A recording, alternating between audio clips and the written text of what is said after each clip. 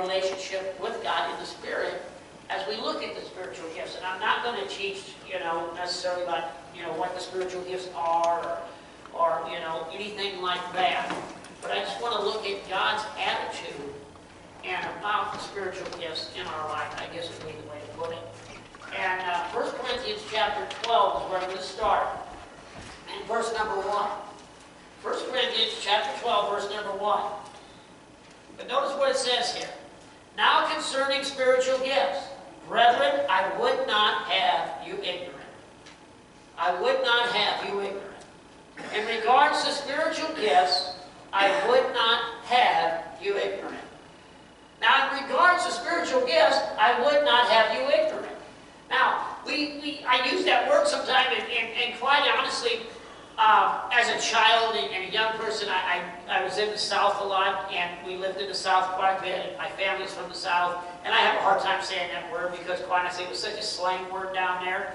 You know, everybody talk about you ignorant. He's ignorant, he's ignorant. Every time somebody goes up, he's ignorant, he's ignorant, he's ignorant. So it's hard for me to look at that word any other way than, than in that context. But the word ignorant here just means you have lack of understanding. Means you have lack of knowledge in a worldly sense.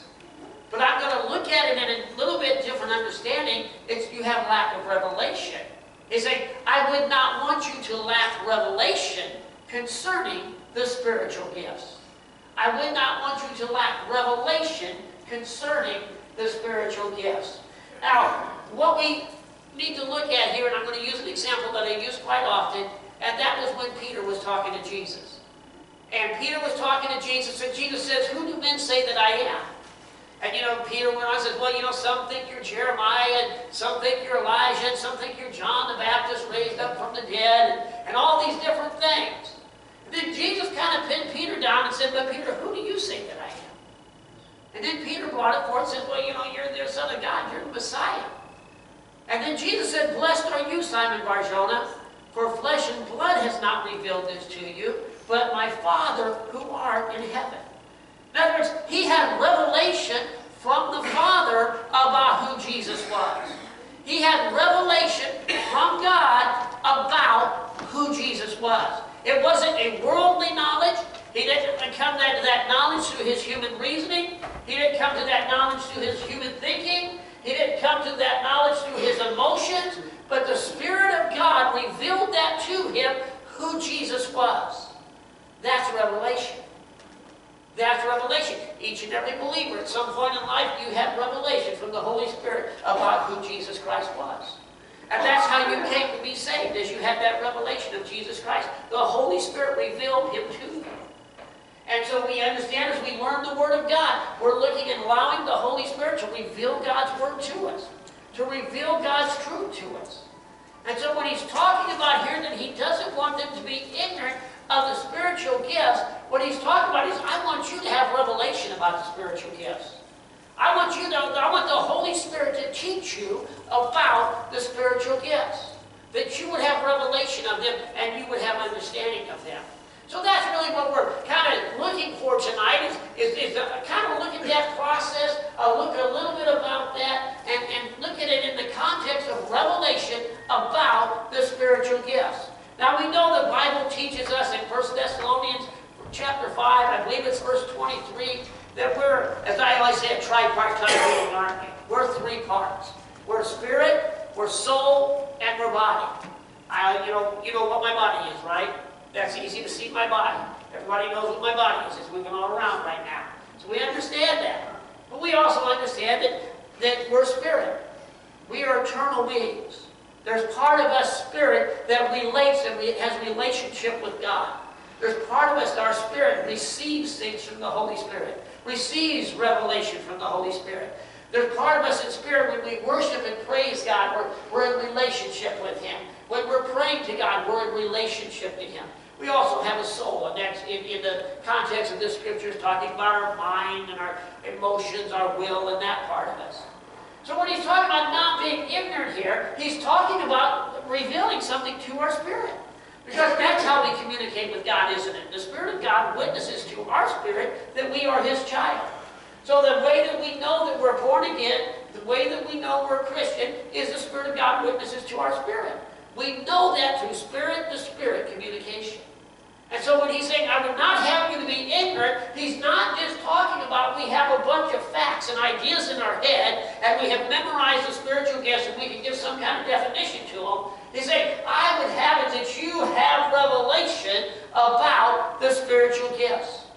So in the eyes of God, then we can look at it this way. On one side, we have ignorance or lack of revelation. On the other side, we have revelation.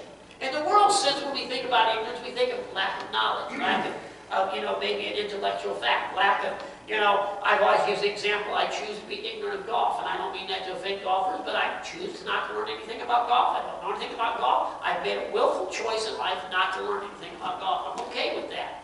I'm all right with that. I know you guys are getting upset with me there, but, but I just choose to be ignorant of golf. People, and people I say, why? I say, for a very good reason. I, I look at golf and it doesn't look like it's fun to me.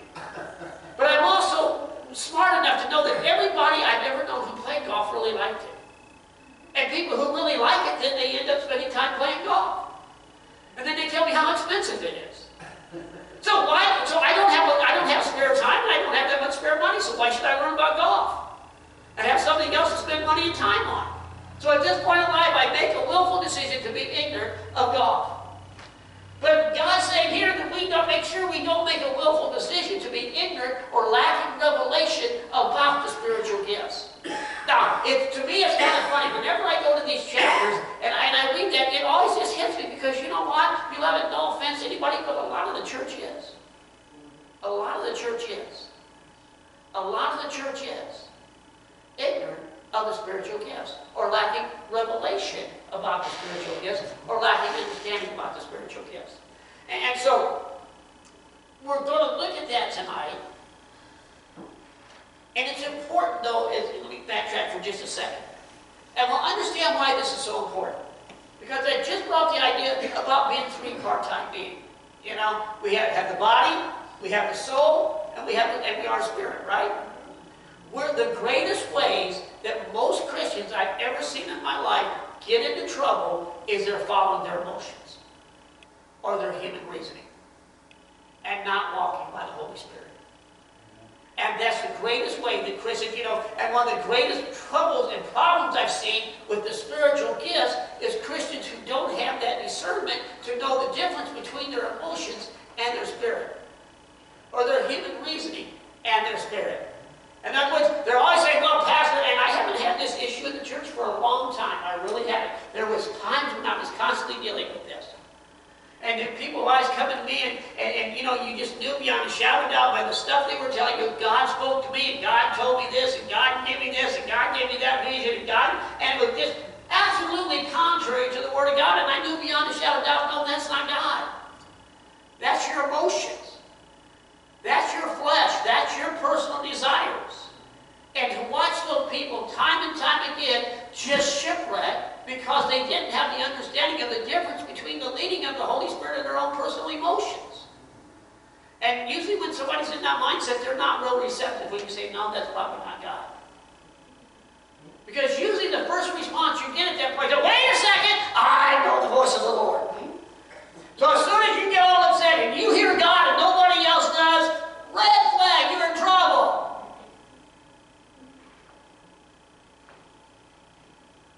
So it's very important we understand this.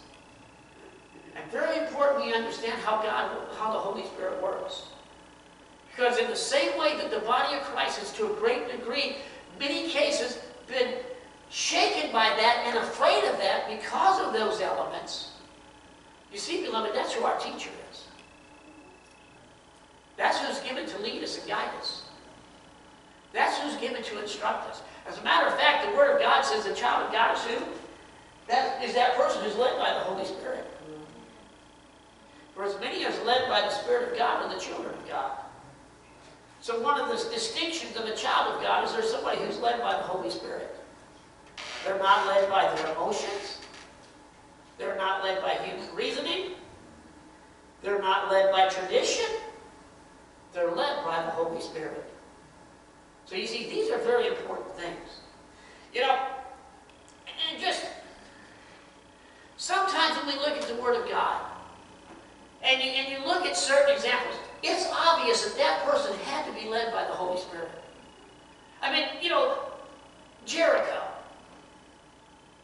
I mean, how many of you go out here and you're in a battle and, and there's this great walled city and, and the great, the, the reputation of this city in the time is it's impregnable, there's nothing you can do, it, it, it's just, you cannot defeat it. And you think, you know what, I've got a good idea.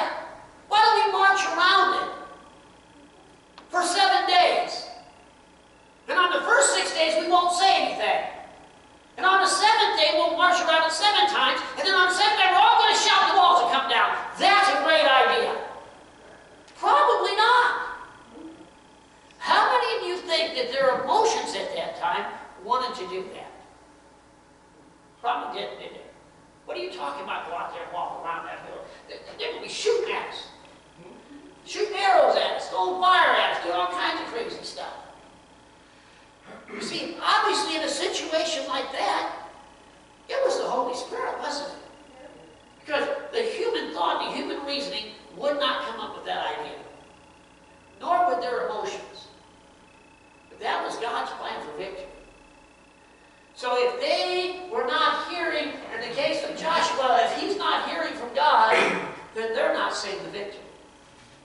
And a lot of times, beloved, I'm convinced as believers, one reason, one of the reasons we're not seeing victory is for the simple reason we're trying to do it our emotions.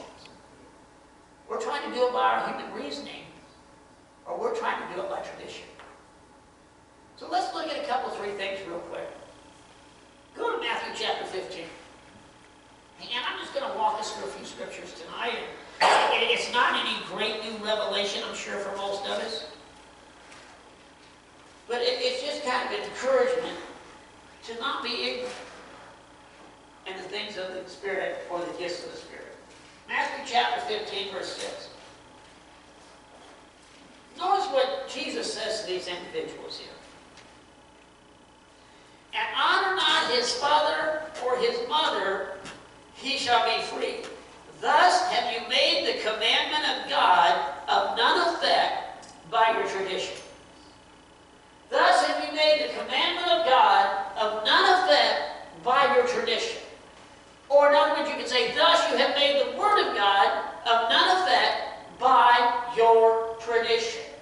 Now, when it comes to the gifts of the Holy Spirit, over the years there's been a lot of tradition that has been erected about it. You know, and I've shared some about my personal testimony a little bit when, when I came into Christ and began to serve God and and I had people who began to some about the gifts of the Holy Spirit and began to share with me about the baptism of the Holy Spirit. On the other side of the coin, I had people who, who were Christians who were sharing me the exact opposite. They're saying, you know, that, that's done, that, that, that's done, that doesn't exist anymore, don't believe any of that stuff, stay away from those people, get away from there. That's not right. Because they were sharing their tradition with me. their tradition was that the baptism of the Holy Spirit did, wasn't in, in, in effect anymore. Their tradition was that the gifts of the Spirit were not in effect anymore. And their tradition had shot down the Word of God. Now, here I was, I, I didn't know. I was a young believer, freshly born again. People who told me on one side I, I were people that I trusted. People who told me on the other side were people that I trusted. And so I'm thinking, you know, what are we going to do here? What am I going to do? So I did the, the, what obviously you should do. I began to dig into the Word of God. And I began to examine the Word of God to find out what the Word said.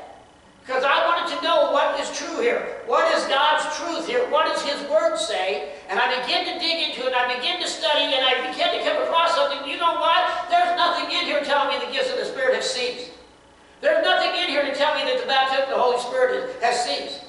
As a matter of fact, the Word of God says just the opposite. And so if the Word of God declares that it's for today, if the Word of God declares that it's true, then I have to go with the Word, what the Word of God says. You see, because I, I could, if I could embrace that tradition, I could accept that tradition, and that tradition would have cast down the Word of God and made the Word of God of effect in my life. You see, beloved, there's a lot of religious tradition that has been erected by man that doesn't line up with God's Word. And a lot of that tradition is in the, in the area that we're talking about, about the gifts of the Holy Spirit.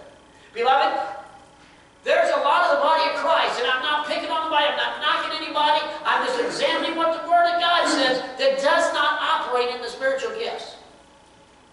There's a lot of Christians who, who, who, who that's not a part of their life. There's a lot of ministries that that's not a part of their life. And the reason is, is because they've accepted traditions that have made the Word of God of none in their life. And they said, you know what? I, I'm not even going to examine it. I'm not even going to look at it. I'm not even going to study it. There, there's a mindset of those then that say, well, you know, Pastor, I, I believe the gifts exist. And I believe in the baptism of the Holy Spirit. But I also believe that, you know what, if God wants to do it, He'll do it. Is that biblical? It sounds good, doesn't it? Not my will, Lord, the earth be done. If you want to do that in my life, you do that. Lord God, if you want the gifts to be working in our church, let them work in our church. If you want the gifts to work in my life, God, let them work in my life. And be done with it. That sounds spiritual, don't it? It sounds good. But it's contrary to the Word of God. The Word of God does not tell us to just approach the spiritual gifts that way. Let me read the scriptures to you. 1 Corinthians chapter 12. We're going to bounce around a little bit. 1 Corinthians chapter 12. Verse number 31. So what should our attitude be then? You know, tradition with some is that it doesn't exist. It's done away with. Huh? The Word of God nowhere says that. Tradition of some is just, you know, let it be. Que sera, sera. If God wants it, it'll happen. And a lot of the body of Christ looks at it that way. A lot of churches look at it that way. 1 Corinthians chapter 12, verse 31 says, But covet earnestly the best gift, and yet show I unto you a more excellent way. So what's it tell us? That gifts wait, if the gifts show up, that's fine. And it says covet. Covet. Covet covet earnestly the best gifts. Now look at 1 Corinthians chapter 14, verse 1. Follow after charity or love and desire spiritual gifts. So it tells me in one verse I'm supposed to cover this, covet the spiritual gifts. Another verse it tells me I'm supposed to desire the spiritual gifts. It don't sound to me like we're supposed to sit on our hands and say, well, if it happens, it happens. It sounds to me like God is telling us we're supposed to pursue this. It sounds to me like I'm supposed to be looking and asking God and pursuing God for the manifestation of the spiritual gifts in my life. It sounds to me like we as a church are supposed to covet and desire and pursue God and look to God eh, for the manifestation of gifts of the Spirit in our life. It sounds to me that, that the body of Christ is supposed to be coveting and desiring that the spiritual gifts operate in their services. It sounds to me like we're not just to be sitting on our hands and thinking, Lord, if it happens, it happens. Sounds to me like we're supposed to pursue it. Now, that's just my interpretation of covet and desire. I don't know how else you can look at it. You might, well, let's just, let's go to another example. At 1 Corinthians chapter 14. Verse 12. Even so ye, for as much as you are zealous of spiritual gifts, seek that you may excel to the edifying of the church. Zealous and seek.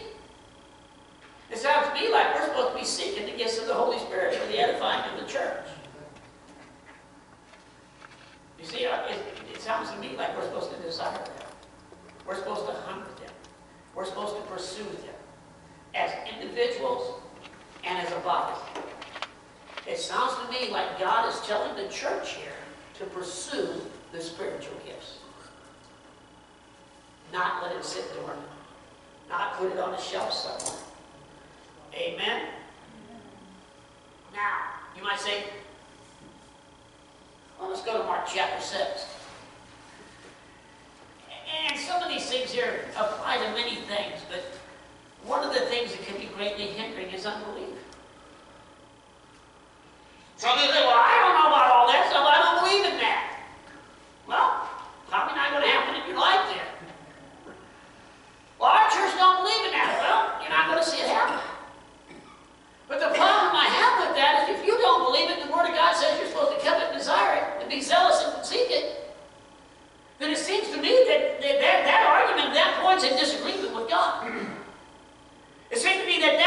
it's in disagreement with God.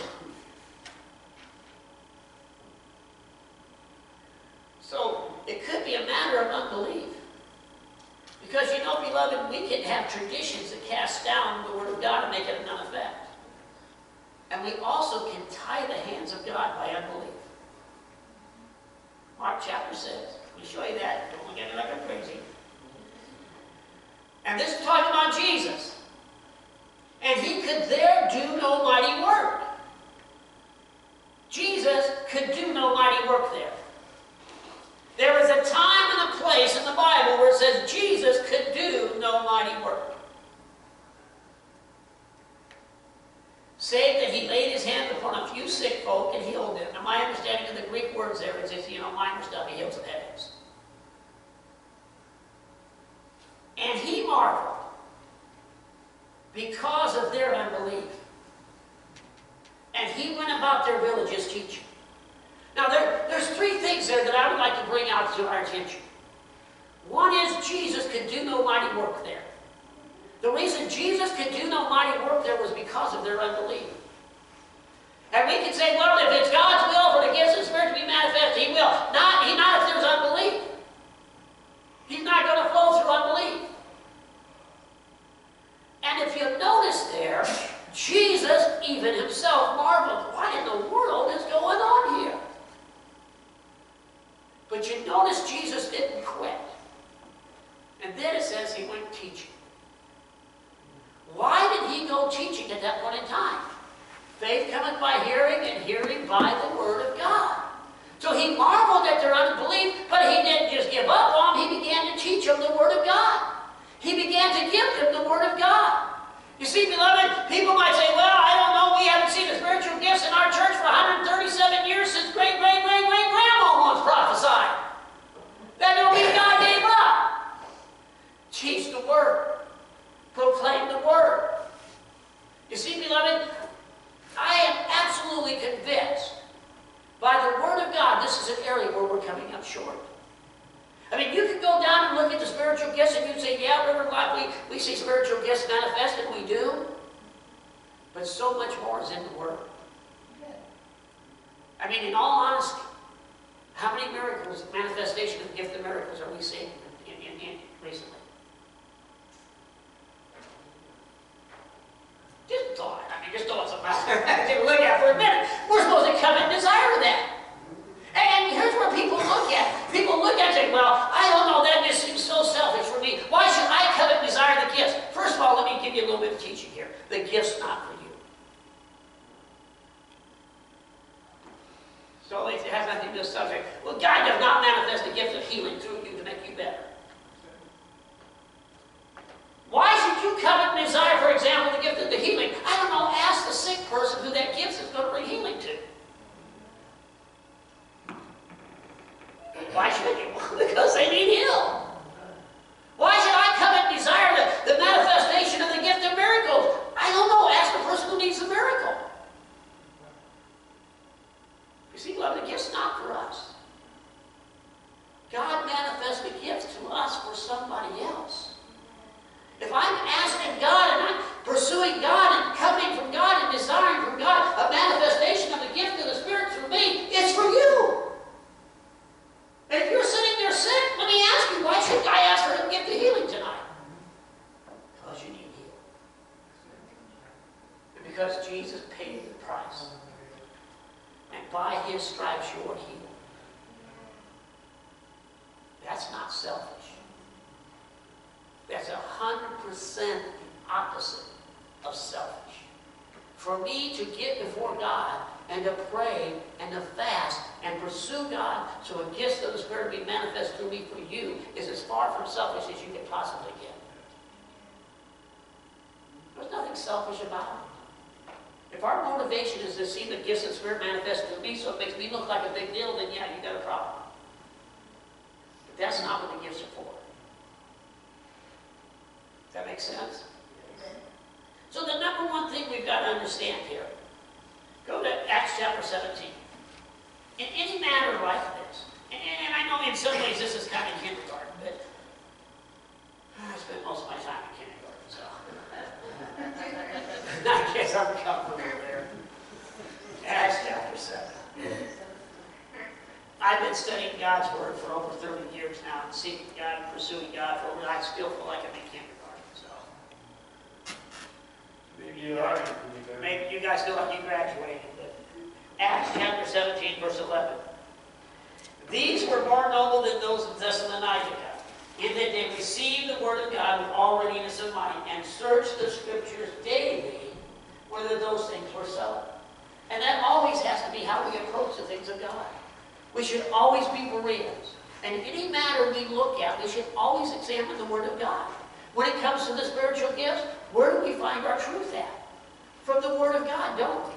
We don't look at church tradition. We don't look at our personal experience. We don't look at what we think. We don't look at our emotions. We look at what the Word of God says. And the Word of God tells us not to be ignorant it. The Word of God tells us to desire it. The Word of God tells us to, to be zealous of it. The Word of God tells us to covet it. So apparently, if we examine the Word of God and go by what the Word of God says, that should be a part of our life.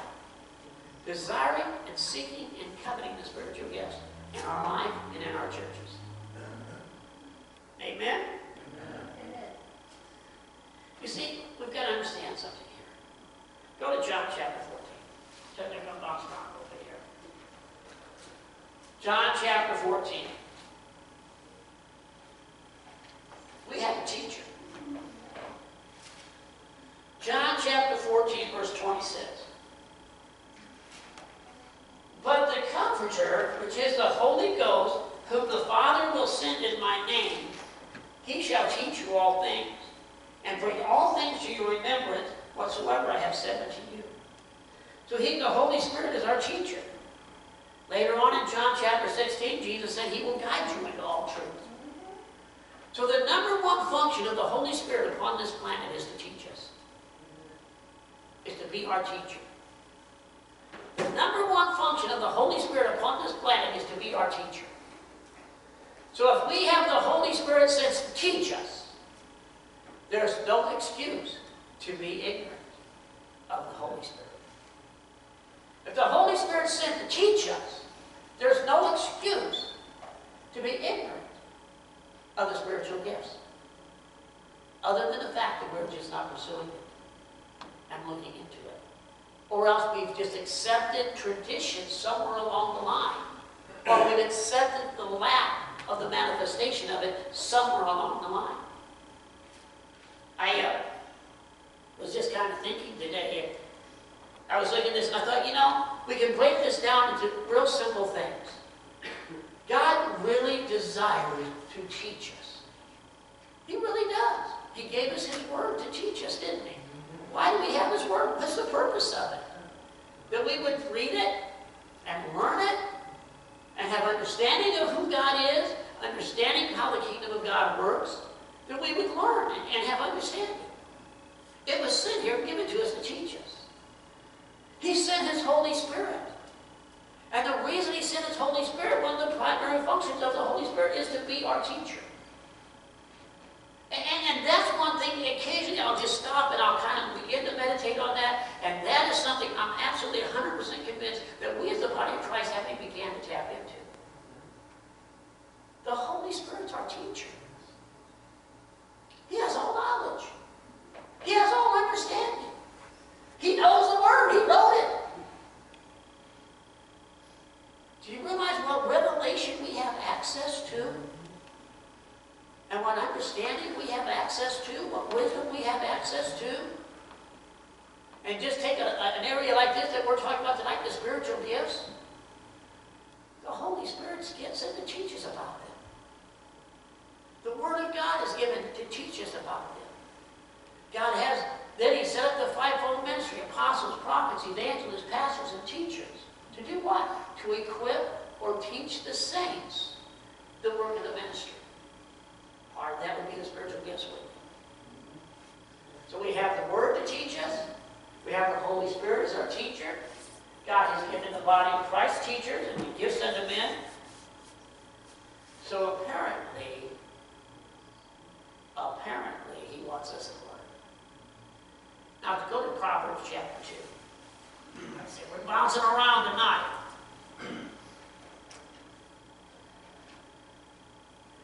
See, none of this to me indicates that we're supposed to take a lackadaisical attitude about this.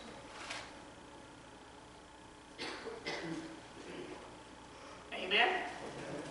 Yeah, you're with me so far? Proverbs chapter 2. Verses 4 through 6.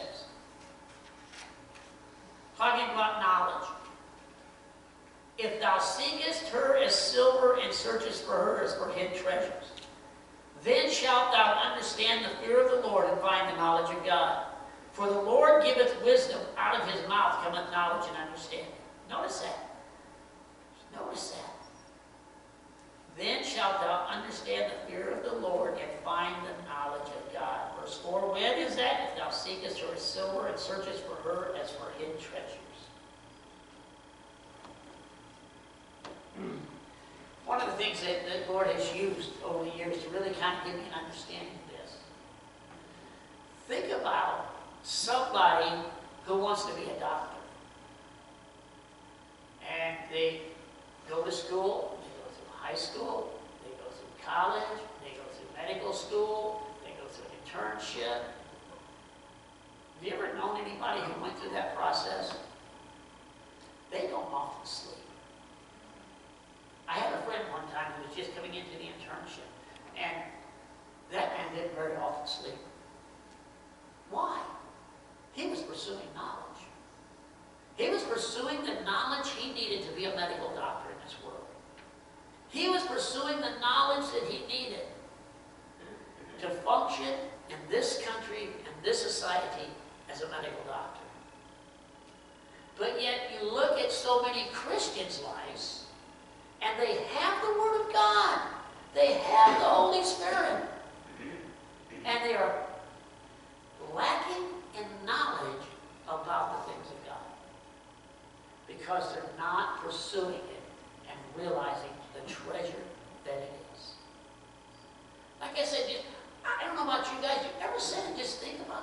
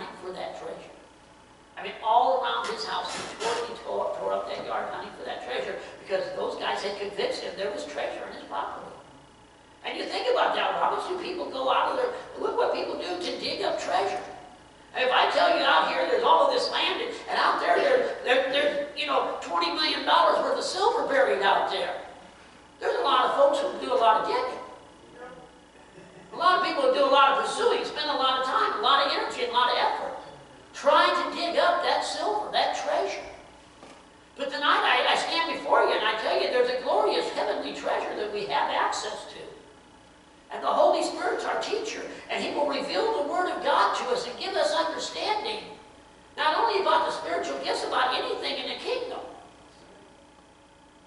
Would we respond and pursue that treasure the same way we would silver? I mean, this is a far greater treasure than all the silver and gold in the world. There's absolutely no reason, beloved, for the body of Christ to function in ignorance in any area of their life. We have access to the wisdom of God. We have access to the knowledge of God's kingdom. We have access to understanding the things of God. The Holy Spirit, the greatest teacher that can be imagined, lives on the inside of the believer. Amen. How about that for Bible college? You see, one of the things that has happened, I think, we have been handed so much a traditional model or a traditional role of Christianity that we're not really going to the teacher, we're accepting the traditional role. I was having a conversation Saturday morning with, you guys know Lorenzo, Pastor Lorenzo, and we were talking. Was talking to him about something he said, and the last time he preached here, that had really just kind of jumped inside of me. And, and it was kind of neat because as I, as I was sharing it, that he, last time he taught, he was te- teaching about the book of Acts and how, you know, the day of Pentecost, how they were waiting for the Holy Spirit. And they really didn't know what to expect. I mean, you and I have understanding of it because we have the Word of God. We have the entire New Testament. We have the written record of what happened when the Holy Spirit was poured out on the day of Pentecost. They didn't have that. They didn't have the, the New Testament. And his point was that they had to totally depend upon relationship with him to understand who he was because they didn't have the words yet. And as I was talking to him about that, we're sitting at breakfast, I'm sharing that with him. Just as I'm talking about that, I mean, I just felt the quickening in my Holy Spirit about something. And I thought, you know what, Lorenzo? They did know what to expect. They did have understanding. They didn't have the Word of God, the New Testament, telling them what to expect when the Holy Spirit comes. But they did have the experience of walking with Jesus for three years. And their model of what happens when the Holy Spirit comes was what Jesus did when he was under the anointing. And what did Jesus do? He healed the sick, he cast out demons, raised the dead.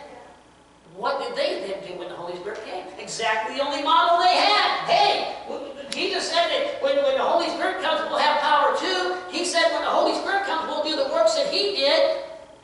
So, that's what happened when the Holy Spirit came on him. So the Holy Spirit comes on us, so what are we going to do? Let's go do what he did. That's the only thing they knew. The only thing they knew was that when the Holy Spirit comes, you have power, you lay hands on the sick, you cast out demons, you raise the dead, you speak to the storms. That's the only model they had. That's the only understanding they had. But today, people look at it and think, well, when the Holy Spirit poured out, what's going to happen? They had all these years of church history and tradition they look at. Maybe it would do us good to go all the way back and say, I don't know, when the day of Pentecost comes, when the day of Pentecost came, when the power came, they touched literally what Jesus said, they shall do the works of Christ, and maybe that's the model we have, and that's the model we're meant to have, is what Jesus did, what the early church did, what the Word of God records, and maybe we need to throw everything else out but the Word of God and go by that. Hallelujah. Just a thought. Just a thought. And I don't know why that just lit up inside of me the other morning as I was talking to him, and I thought, you know, they did have that model. And that's why, maybe why it was easy for them to walk in. Because that's the only example they had ever seen. That's the only instance they had ever seen. Was the model of Jesus Christ. So maybe we need to meditate in the Word a little bit. Maybe we need to spend some time in His presence. And maybe we need Him to instruct us and teach us. Let me go to 1 Corinthians 14. Let's go back there for a minute. They would say, yeah, but what about being decently in order? That's good. Yeah, Pastor, I know you're talking about the gifts of the Spirit, the power of the Holy Spirit, all that stuff, but don't you know the Bible says everything has to be done decently and in order? It does say that. And I'm going to read that to you. And then I'm going to challenge you on man's understanding of that. And I'm going to be nice about it. 1 Corinthians chapter 14, verse 40. And this is at the end of the chapter here, dealing with exactly what I'm talking about, the gifts of the Holy Spirit. Let all things be done decently and in order. Okay. I heard that quite often throughout my life. Decently and in order. And one day I, I just had a, a moment of revelation from God that really kind of hit me about that. Whose order? Whose order? God's order. God's order. God's order. Not man's order. See, usually the person who's telling me everything has to be done decently and order, to not pick not picking on anybody, not saying this bad, is the person who went to church, sang three hymnal songs, and, and preached 20 minutes and sat down, and that was over.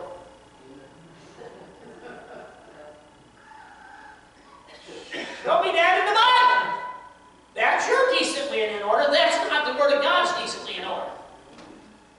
Let's look at God's order for a second. What is God's order? God's order is that we desire and covet and are zealous of the spiritual gifts. That would be God's order. That's what 1 Corinthians 12 and 14 is all about, is how we conduct ourselves in regards to the spiritual gifts in, in, in the church services or in our lives. And he's telling us to covet them and desire them and zealous them. So if you're not coveting the Holy Spirit, you're not desiring the Holy Spirit, you're not zealous about the Holy Spirit, my friend, you're out of order. Out of God's order. And you're not decent and you're not in order. Because our order comes from the Word of God.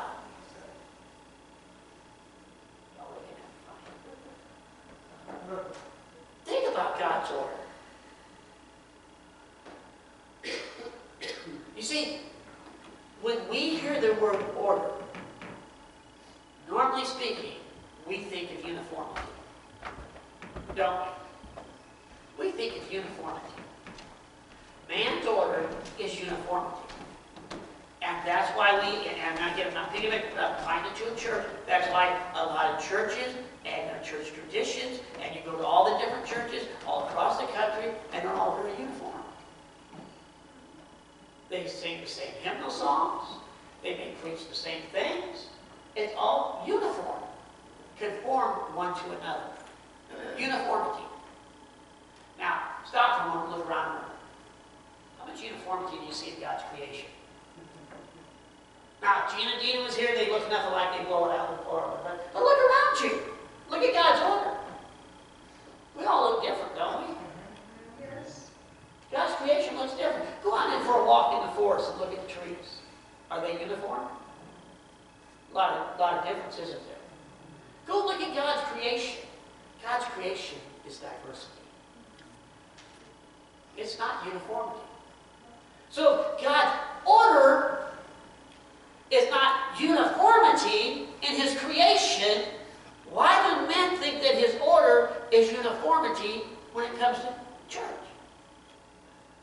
We all dress alike, we all look alike, we all say same hymnals. we- That's not God's order. That's not God's order. Think about that for a minute. Here, look at the stars. And then come back out tomorrow and look at the stars. Why don't they always look the same? If God's order is uniformity. Matter of fact, I think I'll challenge you to find anywhere where God's creation is uniformity. I'll challenge you to find anywhere where God's order is uniformity. I'll challenge you to find anywhere in the, in, in the ministry of Jesus where he was in uniformity. I'll never forget a time when we had service and it was just, it was different. And uh, it was real different. And I went to the Lord and I said, Lord, why can't we just have normal services?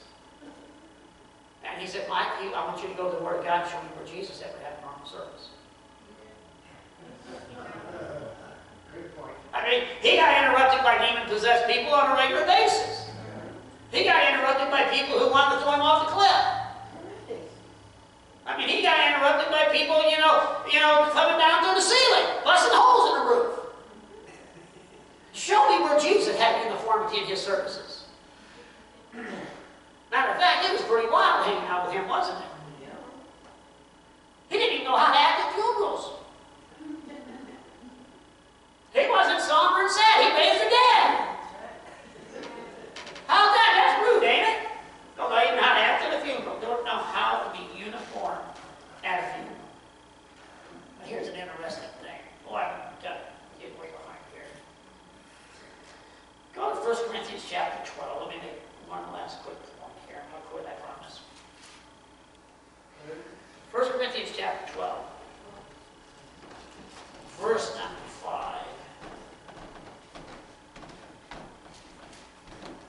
Because this, I- I'm just going to touch upon one of these. I was going to look at administrations, uh, operations, and manifestations.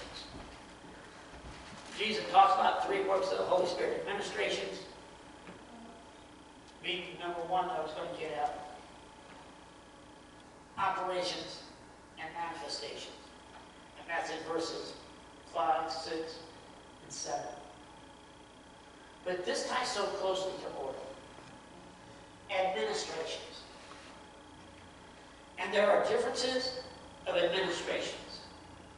The administrator of the church is the Holy Spirit. The administrator of the church is the Holy Spirit. I mean, think about this for a second.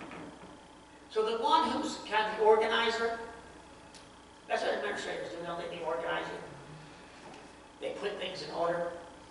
Would be God, the Holy Spirit, is the administrator or the organizer of the church. Something that the Lord has just been sharing with me so much lately. And it's just really causing me to look at the body of Christ with a different understanding than I've had before. Not that it's new revelation, but a different understanding. The body of Christ tries to put itself together. And we try to put ourselves together by the way we think world. We, we look for a church, and we look for a church and, okay, well, let me go into this church and check it out and see. There ain't very many people here my age. I remember when I was young, especially when I first saved, I was 25, 26, I'd go to a church, everybody was what I perceived as being old, were like my age, and uh, they sang Rock of Ages, and I oh, Lord have mercy. Can't go to that church,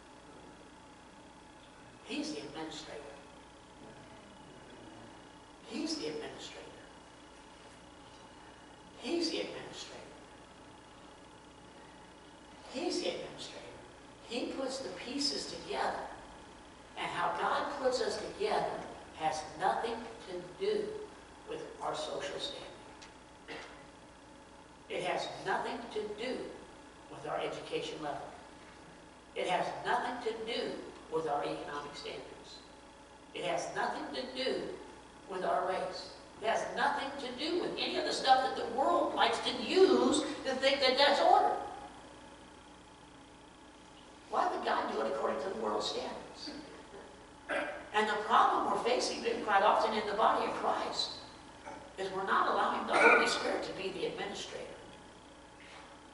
We're doing that ourselves. Well, I just think that's a church I don't go to. I like their kind of music. You know, I'm a little attached when they play that one song. And maybe uh, they'll let me play the kazoo. Maybe, you know, they, they, they grill the back roast cube. You know, we got all kinds of stuff. Maybe they'll let me play on the basketball team.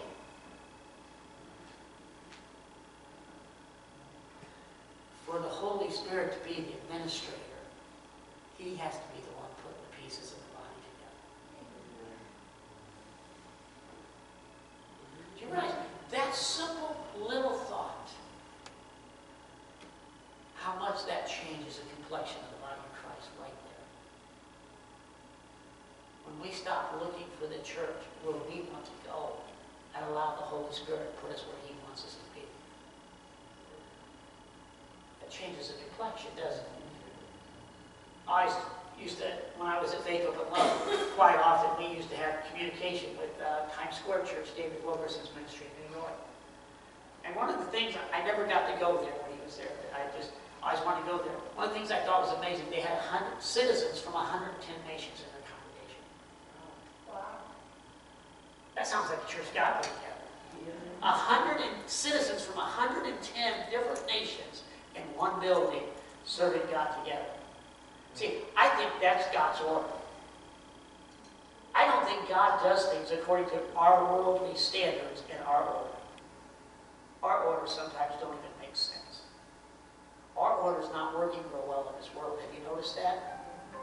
Our order doesn't have a cell phone going off in the middle of a sermon. Wouldn't answer this, Mr. President.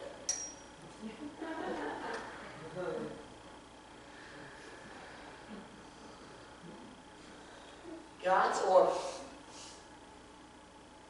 is a church that is seeking and zealous and coveting the spiritual gifts. The Holy Spirit needs to be the administrator of our church of our services. To see the manifestation of the power of God that we always pursue and desire to see. Imagine what God's church would look like if we really allowed the Holy Spirit to put the pieces together. We'd be a funny looking bunch, I'm sure, but it'd be powerful. Amen? Amen. I think I'm done. I'll stop.